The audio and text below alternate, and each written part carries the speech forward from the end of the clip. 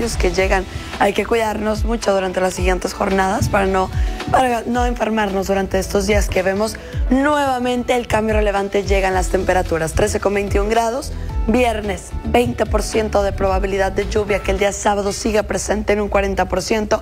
Es de manera ocasional durante la noche del día sábado, 9 con 14 grados, ya el día domingo 6 con 10. Así persiste el panorama, temperaturas mínimas ya de un solo dígito para los siguientes días. Las precipitaciones continúan.